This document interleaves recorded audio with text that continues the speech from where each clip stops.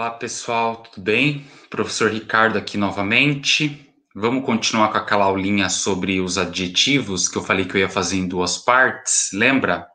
Então vamos dar seguimento aí, né? Morfologia, as classes gramaticais, o adjetivo, esses aqui a gente viu, né? Aí a gente parou aqui sobre a formação dos adjetivos, né? Que pode ser primitivo, derivado, simples ou compostos, ok? Então, uh, simples são formados por um único radical. Ou seja, só tem uma palavrinha aí, né? Um único radical que quer dizer que só tem uma palavrinha. Então, lugar seguro, lugar é um substantivo, né? Que é o nome dado a um lugar, digamos assim. E seguro, que é o que está qualificando aí o nome lugar, né? O tipo de lugar. Ele pode ser seguro, pode ser perigoso, pode ser frio, pode ser quente, então tudo que né, classifica ou qualifica o substantivo é o nosso aditivo, nesse caso, aditivo simples. Rapaz apaixonado. Apaixonado é o nosso aditivo, porque está qualificando lá o rapaz. Roupa leve, filme divertido, empregado satisfeito. Então, tudo que está em azul é o nosso aditivo. E o que está antes dele é o nosso substantivo, ok? A gente chama então ele é, é, na formação, né, de um, um adjetivo simples, formado por um único radical. Aí o adjetivo composto apresenta mais de um radical. Mesmo esqueminha lá que a gente viu nos nossos substantivos, né? Compostos, é simples. Então aí o adjetivo composto apresenta mais de um radical, ou seja, toda cor, por exemplo, é um aditivo. Então, se a gente tem uma cor aí, né, nesse caso, tipo verde escuro, azul piscina, é, verde claro, então, como ele tem aí esses, essas duas palavrinhas, então a gente chama de um aditivo composto, tá? Aí tem aí outro exemplo, escola ítalo-brasileira, ou seja, não é simplesmente uma escola brasileira, ela é ítalo-brasileira, então é um aditivo composto produção franco-suíça, mais uma vez. Lembra, composto não é muito difícil a gente perceber qual é, é, quando é composto, tanto no substantivo quanto no adjetivo, por conta que a gente sempre vai ter de dois até três radicais aí, né? Mais de um radical. Então, de duas ou três palavras. Então, não é muito difícil a gente separar ele do simples, tá? Aí, os primitivos são aqueles que por si mesmos designam uma qualidade, independente da existência de seres ou ações que a representem, não derivam. Ou seja, apartamento amplo água fria, mãe jovem, carro novo, blusa branca. A partir de amplo, fria, jovem, novo e branca, a gente consegue formar outras palavras, né? Que são as derivadas de um aditivo, de um substantivo primitivo. Então, eles é, eles, eles, são independentes né, da existência de, de, de outros seres ou ações que não são, eles não são derivados, eles são a forma original, digamos assim, porque amplo aí, que é o, apartamento, está qualificando o apartamento, é um aditivo primitivo, porque esse amplo a gente não consegue formar outras palavras a partir de amplo, né? Amplitude, é, ampliado, vem da palavra primitiva amplo, né, ampliar, do verbo ampliar. Então, a partir deste é, radical, digamos assim, a gente consegue formar outras palavras. Então, primitivo, vamos, vamos pensar que é a forma original, digamos assim, ou a forma básica de um adjetivo, de um substantivo, até mesmo de um verbo, e é, a gente consegue, só que verbo não tem primitivo, tá? É, e a partir deste substantivo e aditivo, que existe primitivo, no caso do verbo não, né? A gente consegue derivar ele, né? Então, fazer derivados. Próximo slide a gente vai ver aqui, ó. Os derivados originam-se de outros radicais, por isso apresentam afixos, que é o prefixo sufixo. Então, por exemplo, greve movimento, greve é um, é um, substantivo, correto? Aí, se a gente colocar aí grevista, a gente transformou ele num adjetivo e ele está vindo de um substantivo. O quê? primitivo, que é greve. Aí a partir dele a gente consegue transformar, né, ele num adjetivo ou até mesmo um substantivo de derivados. Então aí, acordo salarial. Salarial é o adjetivo, salário é o substantivo. Então veio da, do salário, né, da, da palavra salário, que é o nosso primitivo, a gente transformou ele em um derivado um adjetivo derivado, que é salarial. Movimento é um substantivo, grevista é um adjetivo. Então, esse grevista veio da onde? Veio de qual palavra? De greve, tá? Planta carnívora. Carne, notícia sensacional, sensação. Então, percebam que os derivados, eles vêm de algum substantivo, eles vêm de algum adjetivo e eles são transformados, né, em outro outro outra palavra, eles originam outra palavra, né, de outros radicais e aí eles podem ter o prefixo, que é o que vem antes, como o sufixo que vem depois. Vou dar um exemplo aqui. Uh, feliz não é um adjetivo, né? Ah, ele está feliz. Feliz é um adjetivo. Aí a gente consegue, por isso a gente coloca um prefixo antes, fica infeliz ele continua sendo um adjetivo, só que agora ele é um adjetivo derivado. E infelizmente, a gente colocou agora um sufixo, que é o que vem no final. O que vem antes do radical, que é o feliz, feliz é o radical. Então, o que vem antes é o prefixo. E o que vem lá no final, que é o depois da palavra feliz, é o sufixo. Então a gente coloca o mente, infelizmente. Aí ele já se tornou o quê? Um advérbio de modo. Então a gente consegue a partir de um radical, né, de uma palavra primitiva, seja substantivo ou adjetivo, transformar em várias palavras derivadas, substantivo derivado, adjetivo derivado, OK? Pátrios ou gentílicos referem-se à procedência, à nacionalidade. Esse A está com acento errado em nacionalidade. Ele deveria ser o acento para cá, grave. Igual aqui, ó, em a procedência, é uma crase. Esse acento chama-se acento grave. Depois aí a nacionalidade, o acento também deveria ser para cá. Ele tá para cá, nem existe esse acento no A, tá? Para cá, agudo. Acento agudo existe em várias palavrinhas, mas no A não. Quando você vê, por exemplo, a pessoa coloca às vezes o A lá com acento agudo, tá errado. Se tiver acento, é acento grave, que é a crase. Não existe esse acento agudo aí no A, tá bom? Quando vocês verem isso, podem corrigir que está errado.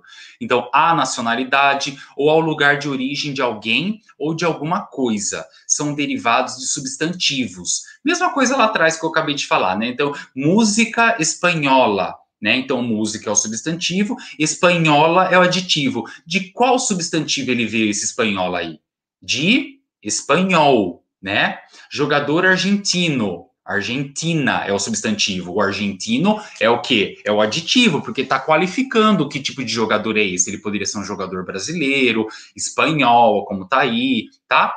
E repórter catarinense, né? De, de Catarina, que seria o nome, né? Santa Catarina, o nome da cidade, substantivo próprio. Então, esse catarinense virou o quê? O nosso adjetivo, tá? Então, eles são derivados sempre de substantivos, né? Nesse caso aqui, porque são nomes, vêm de nomes. E nomes próprios, principalmente, não tem como você falar que ele, ah, ele é um adjetivo e virou é, um adjetivo simples, né? Um adjetivo é, que não é derivado, é primitivo, e virou um adjetivo primitivo, é derivado. Não rola como no caso de nacionalidade ou lugar de origem, eles sempre serão derivados de substantivos, tá? Por isso que o nome aí é pátrios ou gentílicos na formação dos pátrios com agora pátrios compostos, mesmo esquema, só que compostos, né? Duas, lembra lá, duas palavrinhas. Na formação dos aditivos pátrios compostos, o primeiro elemento é em geral mais curto e mais erudito.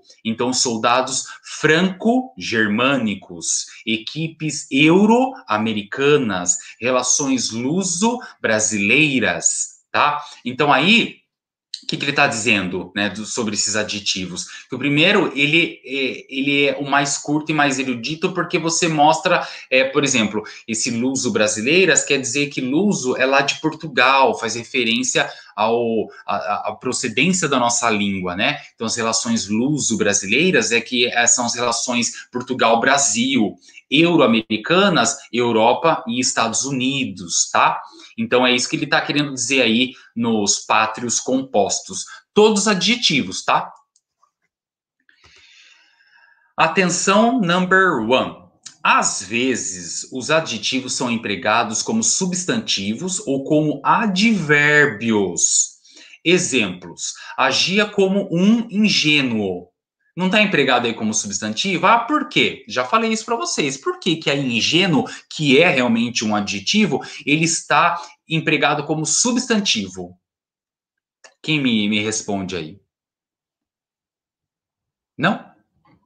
O um, olha o artigo aí antes. Lembra que antes de um adjetivo, se ele vier, é, se vier um, um desculpa, uh, se antes de um adjetivo vier um artigo, é porque ele está empregado como substantivo, tá? Então, é, tomem cuidado. Olha no de baixo, sempre trabalhou sério. É um adjetivo empregado como advérbio, que é de forma séria ou seriamente, né? É o modo como ele trabalhou. É, o sério Poderia ser, poderia não, ele também é um adjetivo. Só que aí, nesse caso, ele está de forma, é, está aplicado como advérbio, porque ele está de, indicando modo.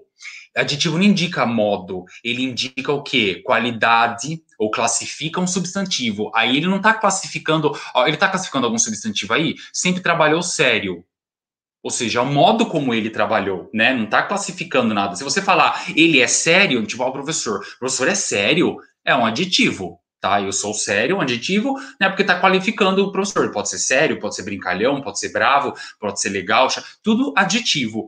Mas a partir do momento que você fala, ah, ele está dando uma aula, é, ele está dando uma aula séria, ele está falando sério, é o modo como eu estou né? Então aí eu estou seriamente bravo, vamos supor. Aí o bravo, ele é o nosso aditivo, e o seriamente, ele é o nosso advérbio de modo. Então tem que tomar cuidado aí, porque a gente vai jogar na atividade para vocês, vai colocar lá na prova os adjetivos, e aí vocês vão sair circulando todos. Adjetivo, adjetivo, adjetivo, adjetivo simples, adjetivo e não é, porque às vezes, opa, tem um artigo antes desse aditivo, então ele não é mais aditivo. Ele é, só que está como substantivo. Ah, esse aditivo aqui também não é bem aditivo, ele está empregado como um advérbio. Então tem que tomar cuidado, porque você tem que ver o contexto, tem que ler toda a frase. Por isso que às vezes alguns alunos eh, fazem a prova muito rápido, terminam muito rápido e não vai muito bem, é porque não leu direito lá o contexto. Acho que é tudo tão fácil. Ah, circule adjetivo, por exemplo. Nossa, que fácil, circule adjetivo. Ah, você vai ver todos os adjetivos lá, você vai sair circulando igual um louco e, tipo, terminou e acabou, tchau, vou embora, vou brincar. E aí? E o que tinha artigo antes? E o que estava num sentido de modo? Aí se circulou, esqueceu que ele não está, ele não tá fazendo função de aditivo, ele está empregado como outro, outra classe gramatical. Então tem que tomar cuidado. Por isso que é atenção 1 aí, ó, atenção 2. Outras vezes são substantivos que funcionam como aditivos, formando substantivos compostos num processo de derivação imprópria. Exemplo: o governo distribuiu mais bolsas família este ano. Ou seja, o família é um substantivo funcionando como aditivo. Por quê? Porque é o tipo de bolsa. Ah, mas bolsas família não é um, um substantivo composto? Não nesse caso, porque família está o quê? Falando que tipo de bolsa? Poderia ser bolsa creche, poderia ser bolsa é, ajuda, poderia ser, entendeu? Vários tipos de bolsa, bolsa é, jacaré, né? É, então, ele está fazendo o quê? Ele tá, o substantivo está funcionando como aditivo. É, então tem que tomar cuidado aí, pra, porque esse segundo termo aí, o família, ele está, né, qualificando aí bolsas, tá? Campanhas são realizadas em defesa, em defesa dos peixes boi. Ah lá, peixes boi? É que o boi tá fazendo o quê? Né, uma, uma referência aí ao tipo de peixe, né? Então ele, ele é um aditivo, porque é o tipo, tá qualificando. Então tomar muito cuidado, tomar muito cuidado com isso daí, para a gente não confundir. Olha essa atividade aí que vocês vão copiar e vão escrever na, e responder aí no caderno de vocês. Complete as frases com os adjetivos correspondentes às locuções adjetivas entre parênteses. Então, dentro do parênteses está uma locução aditiva. Lembra que locução aditiva é geralmente duas ou mais palavrinhas e preposição. Tem que ter a preposição aí. Então, da escola, o da é a preposição, escola é um substantivo, né? Então, você vai transformar e num adjetivo, essa locução aditiva. Então, Paulo e Vitor têm muitas tarefas, muitas tarefas. Que tipo de tarefa é da escola? Escolares. Coloca no plural, hein? Não vai colocar tarefas escolar. Tarefas escolares, tarefas escolar. Ó, para não, não confundir aí. Então, Paulo e Vitor têm muitas tarefas escolares, tarefas escolar, que vocês vão colocar aí? Para fazer hoje. Então, da escola, a nossa locução aditiva, coloca aí qual seria o aditivo dessa locução aditiva. Não vou fazer, vocês que vão fazer, depois que vocês responderem tudo, já sabe. Aqui, ó, fotinho, tirar uma fotinho e mandar para mim, tá bom? Neste daqui eu vou fazer com vocês, tá? Vamos lá juntos. Aí temos aí a, a tirinha, né? A história em quadrinho, a pequenininha, tá? Uma tirinha. Cuidado com os pés sujos, Cascão. Tive o maior trabalho para limpar o chão. Tá bem, mãe. Olha o que, que ele faz. Nessa tirinha, qual é o nosso adjetivo?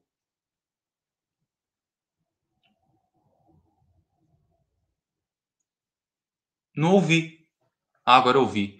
Sujos. Muito bem. Sujos, né? Que tá qualificando, classificando o pé dele como, como tá o pé dele, né? Que tá sujo. Então, sujos é o nosso adjetivo. Beleza? Só tem esse, pessoal, não tem outro, tá? E embaixo, um dia você não poderá resistir e vai tomar banho. Daí eu vou aceitar namorar com você. Aí o Cascão sai falando, né? Daí eu que não vou querer, você vai estar muito velha. Qual é o adjetivo aí? Velha. Muito bem. Para quem falou velha, é isso mesmo. Por quê? Hum, porque é o que tá falando como ela vai estar. Ela poderia estar jovem, nova, mas no caso, como ele nunca vai tomar banho, vai demorar muito para tomar banho, ela vai estar velha, daí ele não vai mais querer. É o nosso único adjetivo ou tem outro? O que, que vocês acham? Sim, é o único. Então, em cima só tem um, que é o sujos, e de baixo também só tem um, que é o velha. Não há outro, beleza? Então, pode ver aí que o adjetivo não é uma palavra que aparece assim com muita. Pode ver que sempre tem artigo, né? Substantivo, eles aparecem bastante. Mas o, o adjetivo nem sempre vai aparecer, e quando aparece, às vezes aparece um ou dois. Então tem por isso que tem que saber aí quando é, né? Um adjetivo, um substantivo, um artigo, um verbo, para a gente poder é, não errar depois, ok? Eu acho que por hoje, é, por hoje é isso. Termino por aqui a nossa aulinha de adjetivos. É, Aí a próxima aula a gente vai começar com outro conteúdo, tá? Desse segundo bimestre, mas dentro das classes gramaticais, ok? Abraço e até a próxima aula.